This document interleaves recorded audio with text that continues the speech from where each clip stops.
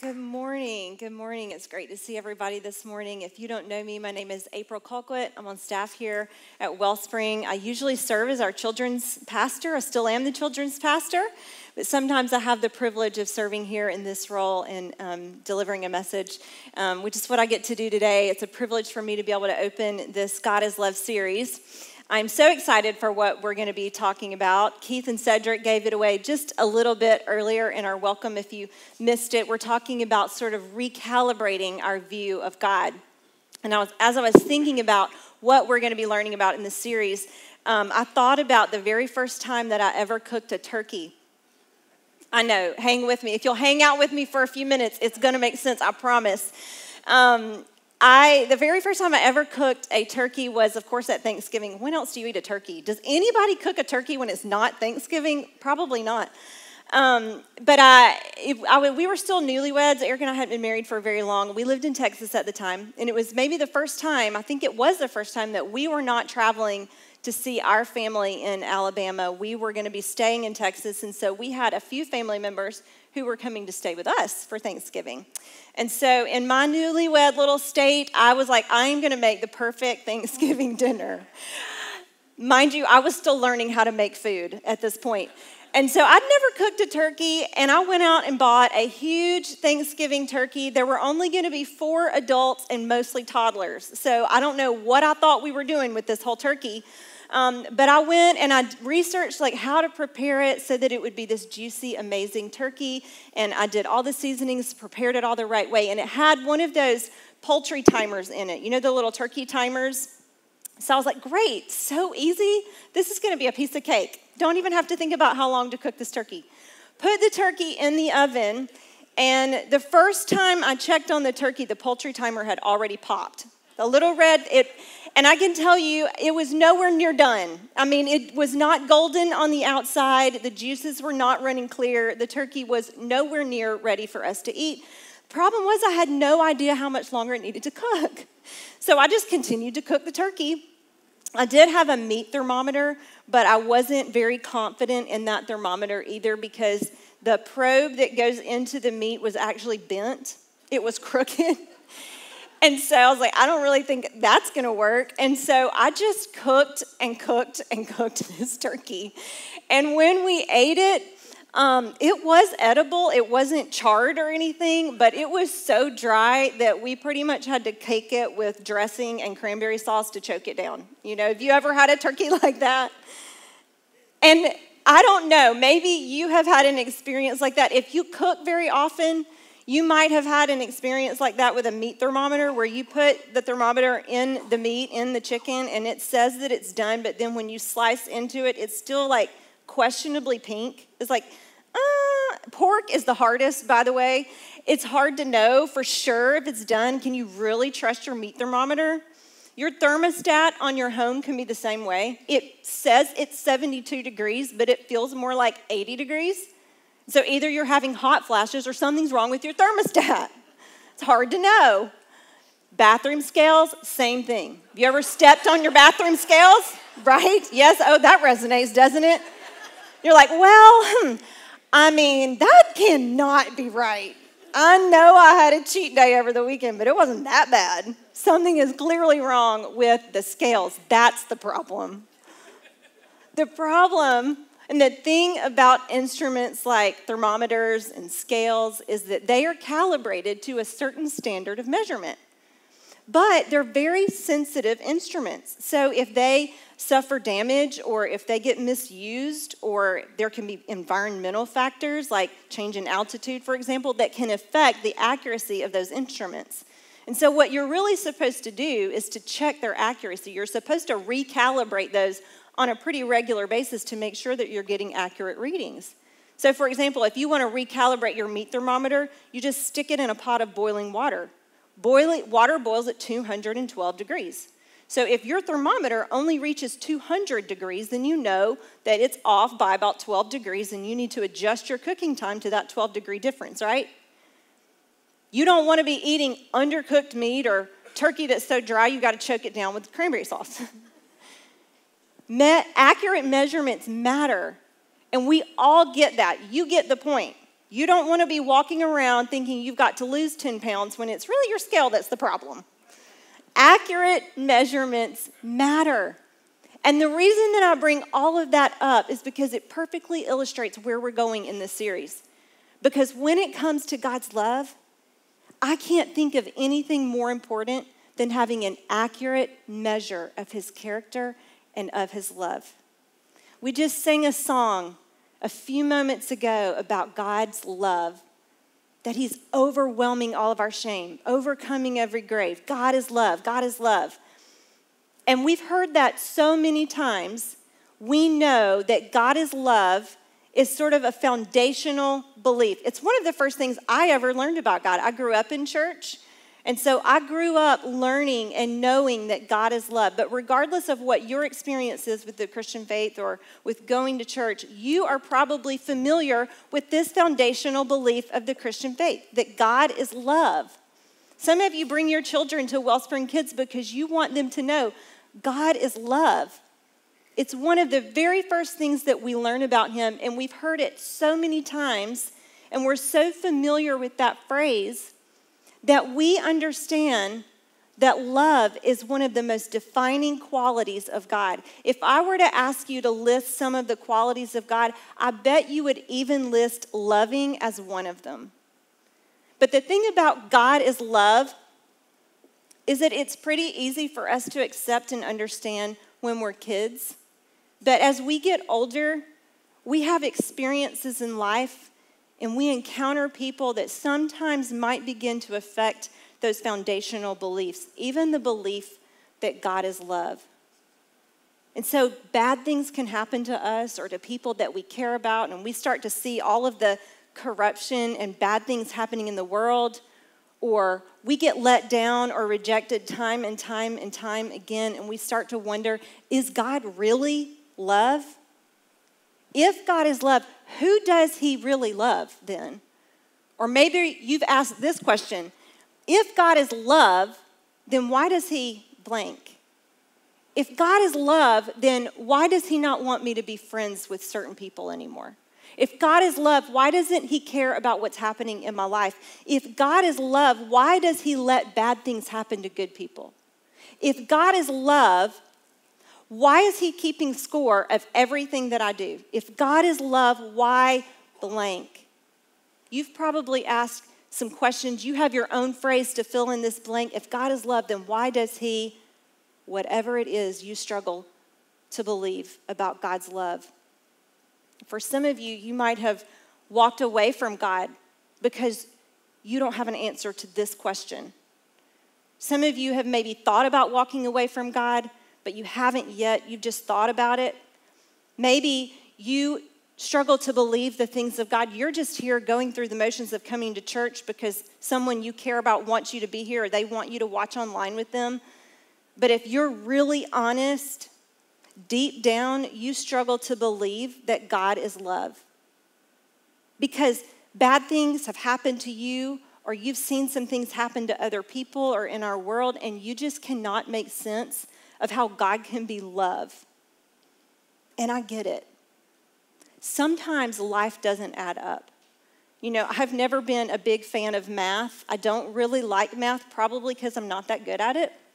That's why I became a preschool teacher. because I know that two plus two is four. And two plus two will be four every single time. Whether it is two Boston cream filled donuts and two glazed donuts, it is still going to be four donuts, right? Might also be why you're questioning the bathroom scales. Sometimes life does not make sense, people do not make sense, and especially when we are hurting, God doesn't make sense. And that's when we find ourselves questioning the most defining quality about God, his love. But do you know there is someone who never questions God, who never questions the quality of God's love?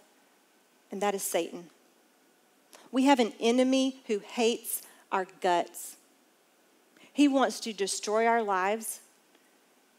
And he never questions the quality of God's love. He knows that God's love is completely pure and perfect. And so he wants to stop us from believing in God's love, and he is so cunning and so crafty that he has taken the most defining quality about God and he has twisted it and distorted it so much that we all have these views about love that we think, well, if that's love and God is love, then I'm good without God.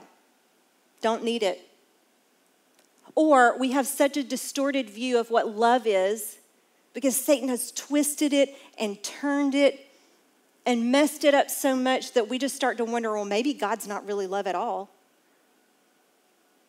And as long as our thermometer on God is reading cold and unloving, Satan doesn't have to worry about destroying our lives because we'll do that on our own by staying our distance, by staying as far away from God as possible, which is exactly what the enemy wants.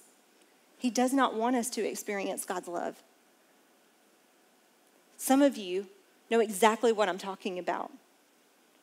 The enemy has twisted your version of love. Remember when I said that instruments like thermometers and scales are affected by things like environmental factors or misuse or damage? It's very similar with our view and our beliefs about God.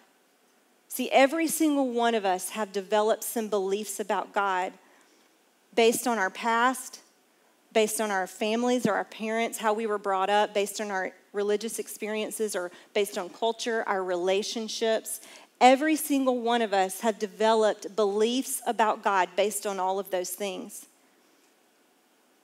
And so, probably just within this room, just with a few people who are watching online, there are dozens of different views and images that come to our mind when we think about God because not one person here has the exact same story to tell. So I want to encourage you for just a moment to stop and let's ask ourselves this question What has shaped your beliefs about God? Who are the people? What are the events? What are the things that you've been a part of or the experiences that you've had?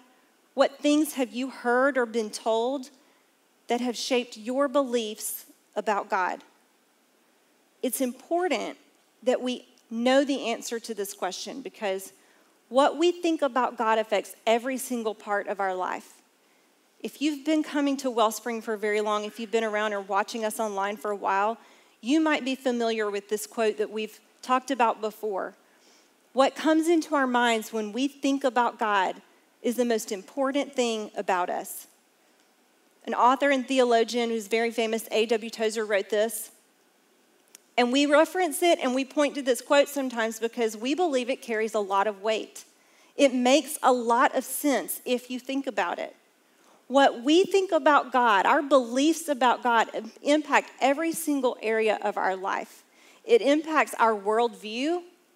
It impacts how we see ourselves and our self worth. What we think about God impacts the decisions that we make and how we live out our purpose or what we think our purpose might be. What we think about God impacts how we see other people and how we respond and care for other people. It impacts every single thing about us. So, for just a minute, let's think what has shaped our personal beliefs about God.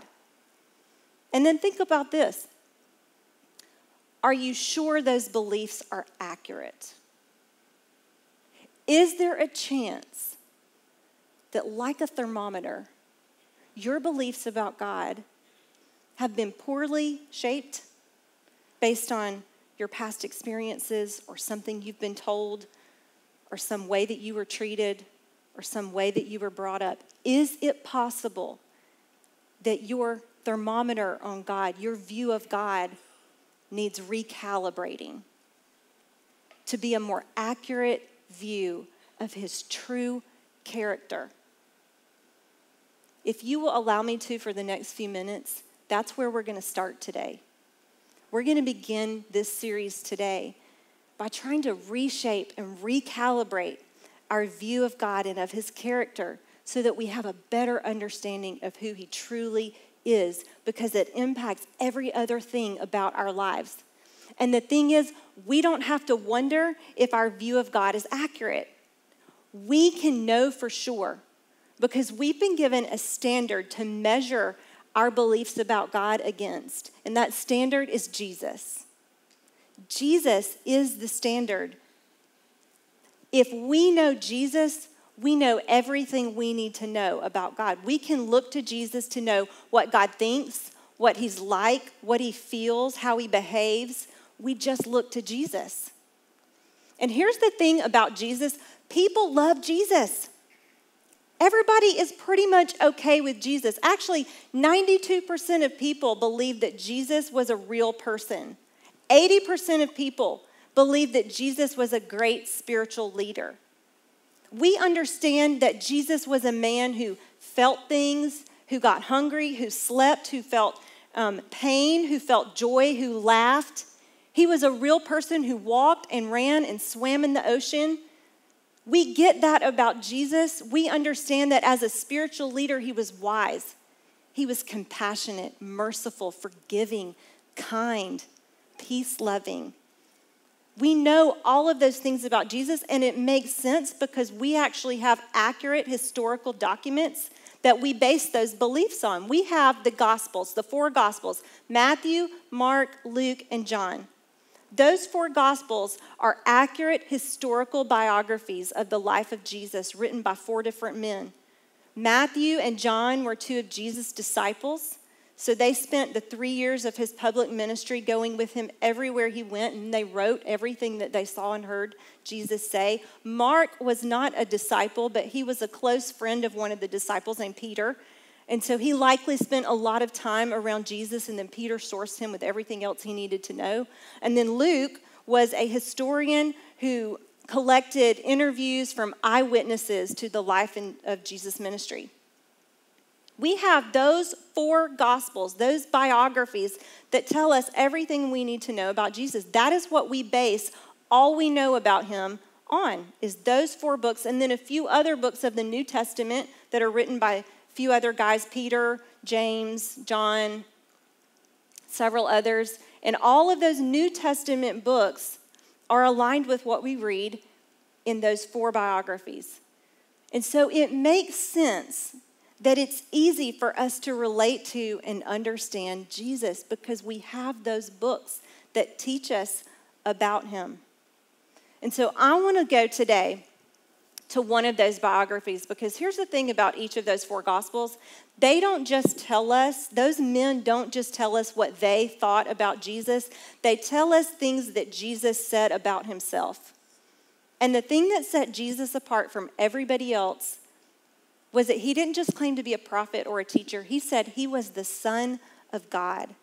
So I want to go to John's biography. We're going to look at chapter 14 if you want to follow along with me in your YouVersion or your Bible app. Um, we're going to be in John chapter 14, and on this one, this is just one of the many occasions where Jesus makes these defined claims about himself as being the Son of God. And in John chapter 14, it's about the middle of the book, but chronologically, it's near the end of Jesus' ministry. He's already um, predicted his death and resurrection. He's already had the Last Supper with his disciples, and he's still teaching them about who God is and what he has planned for those who follow them, follow him. And he says, I'm going to be going away to prepare a place for you, and then you're going to come and join me. This is what he's telling the disciples in John chapter 14. And then he says this Jesus says, and you know the way to where I'm going. You know the way to where I am going. Now, the disciples are a little bit confused because the fact is they don't know the way to where he's going. Have you ever had someone try to give you instructions or directions for how to get somewhere? Like they're trying to tell you how to meet them at a restaurant or how to get to their house, and they're like naming streets or landmarks that they just assume you're going to know. What do you do? You just sort of nod and like, oh, yeah, I know exactly where that is. 50% of the time, I have no idea what they're talking about. But I'm probably going to nod, around, nod along like, oh, yeah, I know where that is. In my brain, that's what the disciples are doing. Jesus is saying, you know the way to where I'm going. And they're like, uh-huh. Except for one of them, Thomas. He was like, no, actually, we don't. He says this. Thomas speaks up on behalf of the whole group and he says, No, we don't know, Lord. Thomas said, We have no idea where you are going, So, how can we know the way? I don't know if the disciples were elbowing him and like rolling their eyes, like, stop, just pretend we know what he's talking about. We'll figure it out later. But Thomas is like, Jesus, we're going to need more information. We don't know what in the world you're talking about. Where are you going? And Jesus answers with a remarkable statement. He says, I am the way, the truth, and the life. No one can come to the Father except through me. He says, I am the way. I am the way. Now, I grew up understanding this to be a directional statement. No one can come to the Father except through me. We hear that and we think Jesus is giving a direction, meaning if you want to get to God, you have to come through. I am the pathway, right? I am the bridge to get to God. But it's actually so much more than that. Jesus is declaring that He is God. He's saying, I am the way to understanding God. I am the way to relate to God. I am the truth about who God is. Everything you know to be true about me is true of God. But the disciples are still a little bit confused. Here's what he says next He says, If you had really known me, you would know who my Father is. From now on, you do know him and have seen him. What does he mean? If you had really known me, you would know who my Father is. To really understand and sink our teeth into what Jesus is meaning, I want to step out of this story for just a minute and let's ask the question what has shaped the disciples' beliefs about God? What ideas and what stories have shaped everything that they knew about God? And the answer is the stories of their ancestors, the Israelites. That is what they based their belief on about God. That is, for us, the stories of the Old Testament, the stories of Moses and Abraham and Isaac and Jacob and Esau and Ruth and all of those characters, Daniel and David, that we know from the Old Testament.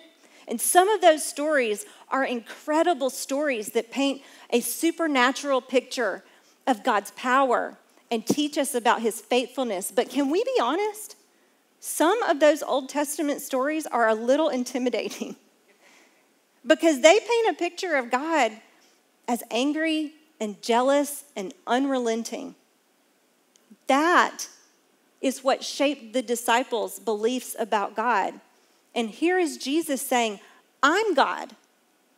And they're looking at Jesus and they're like, You're not like the God we've always heard about. You're different. And Jesus says, If you had, you didn't know me then. It's okay because you didn't know me back then, but now you do know me. He says, so from now on, you do know him. You do know God now. You do know what you want, need to know about him now because you know me. You know God because you know me. And one of the other disciples speaks up. This time it's Philip. And he says, Lord, show us the Father, and we will be satisfied. He's like, Come on. This is not making any sense. Can you just, one more time, where is God? Point us in the right direction and we'll figure it out. They are just not getting it. They think there's missing something. There must be more to the story. Show us the Father and we'll be satisfied. Have you ever been in a store and you are talking to a salesperson and they're trying so hard to help you, but there's still some unresolved issue, and you say, Can you just get the manager? Can I speak to the person who's actually in charge here? When I was growing up, my mom stayed at home with us. She worked from home, and my dad worked outside the home at his office. And um, so when we were at home during the summer months or after school, my mom was the one who was there.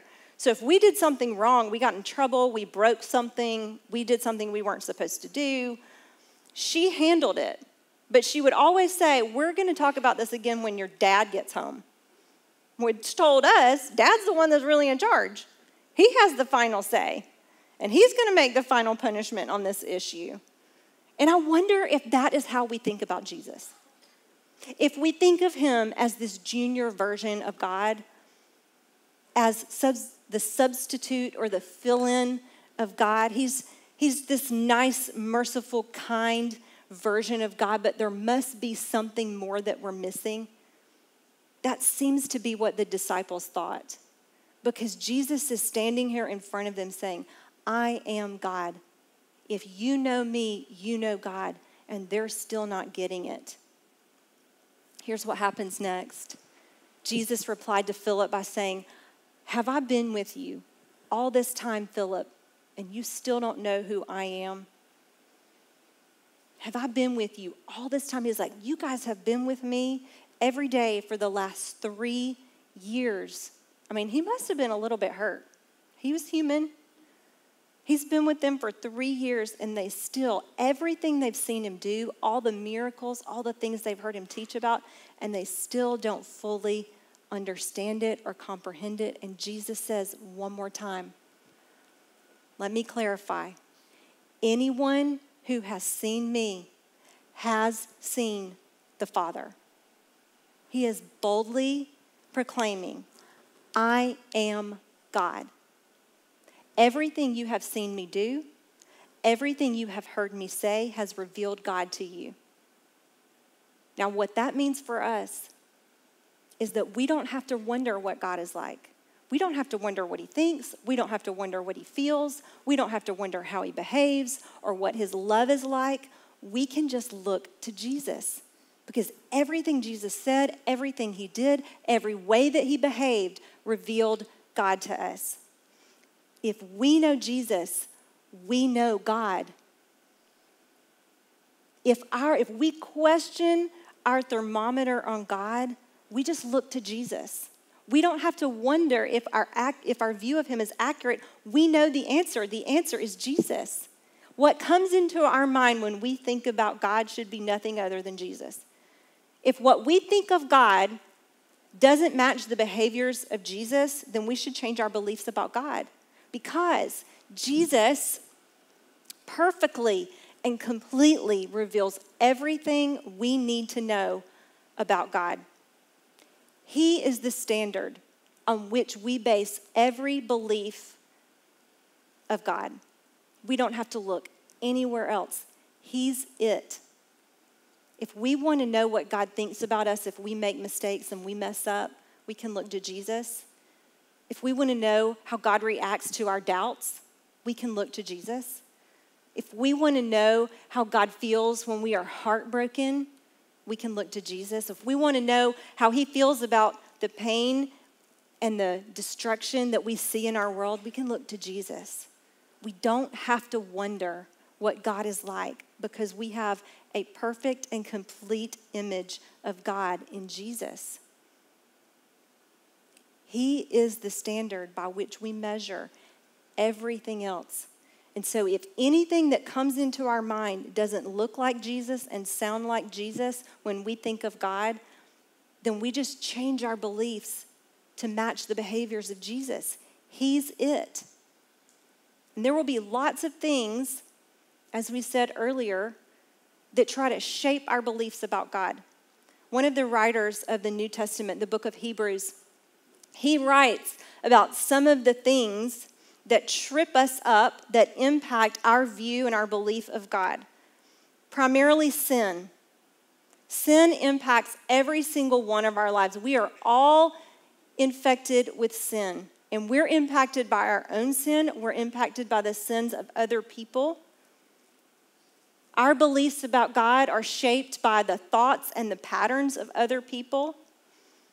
We're impacted by challenges and obstacles that we experience every single day in the world. And all of those things can shape our beliefs and our view of who God is and what He is like. But there is a better way. And the writer of Hebrews tells us exactly how we can recalibrate our thoughts and our beliefs so that all of those other things don't trip us up. This is what the writer of Hebrews says. We do this, we do this by keeping our eyes on Jesus, the champion who initiates and perfects our faith. Some versions of this verse say the author who initiates and perfects our faith. The story of our faith begins and ends with Jesus. We wouldn't be here right now in this place of worship if it weren't for Jesus. We wouldn't be here having a conversation about our thoughts and our beliefs of God if it weren't for Jesus.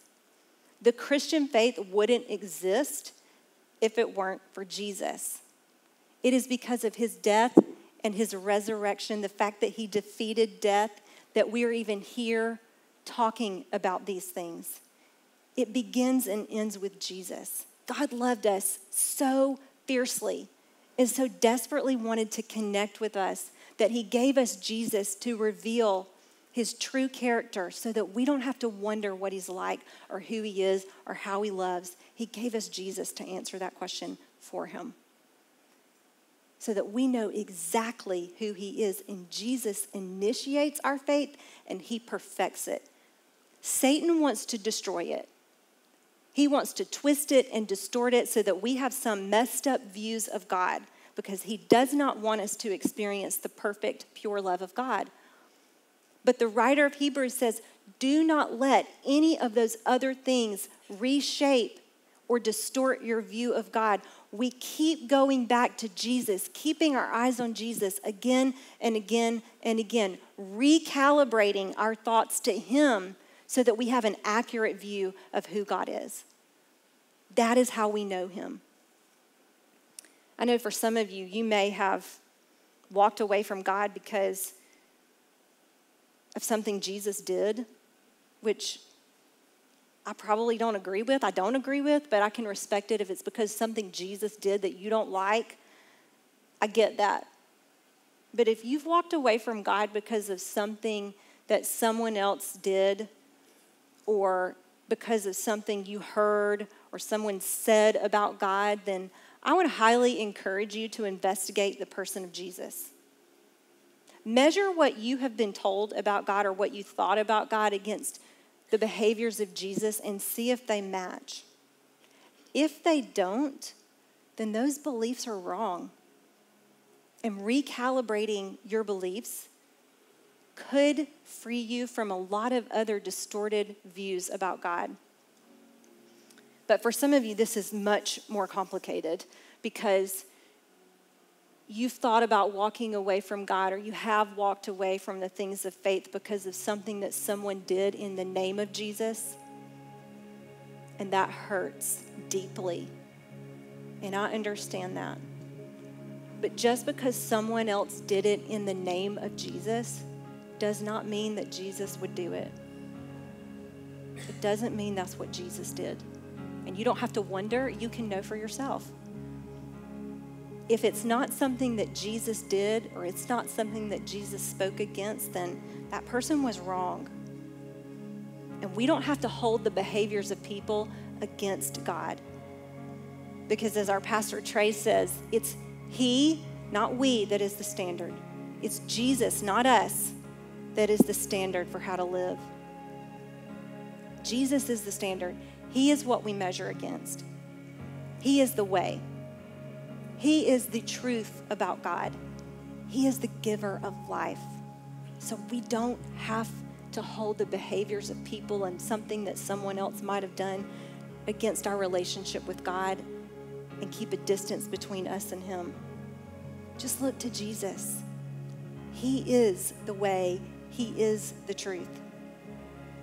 If your thoughts and your beliefs about God are that He is cold and unfair, that He's vindictive and judgmental, that He doesn't care about you, or He doesn't want you to have fun and enjoy your life, then I don't blame you for not wanting to follow God. But I want to respectfully tell you that that is not at all who God is.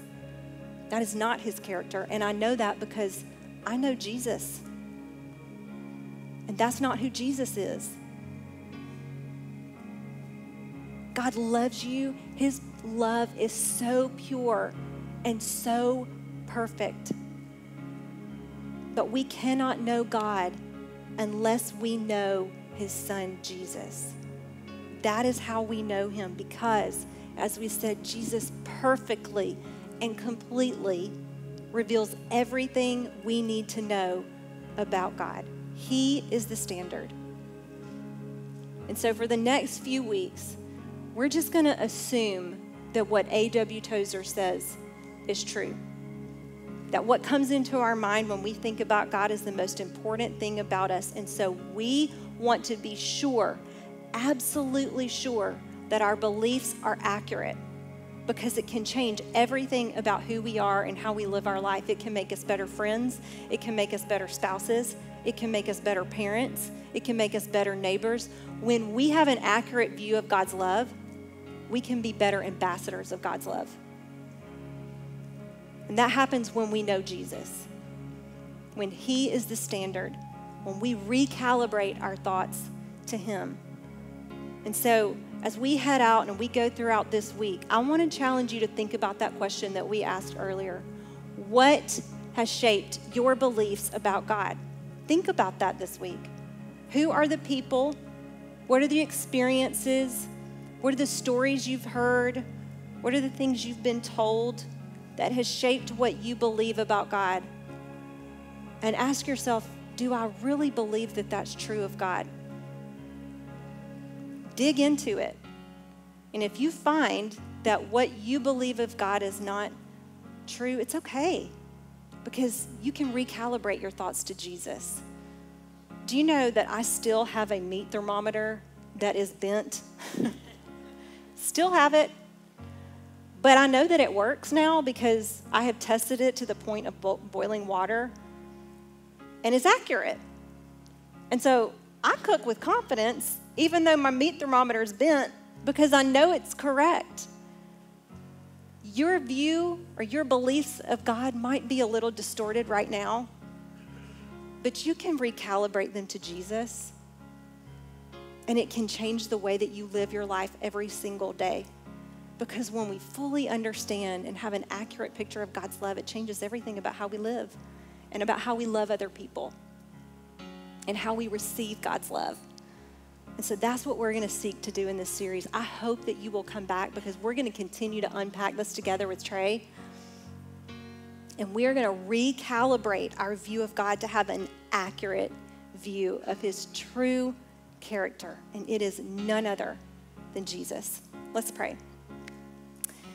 Oh God, we just thank you so much for sending us your son Jesus who perfectly and completely reveals everything we need to know about you. Thank you that we don't have to wonder about who you are and who you love and how you love and what you do and what you think and what you feel because we have your son Jesus. Thank you for sending Jesus, who is the truth about who you are. And I pray that you would help us to look inward at our own hearts and our own beliefs, and that we would ask ourselves what has really shaped our beliefs would you reveal it to us? Would you show us Jesus? And would you begin to correct and recalibrate our thoughts to a better view of your love, to a clearer picture of who you truly are? Thank you for just not hiding yourself from us. Thank you that you do not keep yourself hidden, but you make yourself known. I pray that we would see you and that we would know you purely and simply for who you are. It's in your son's name that we pray. Amen.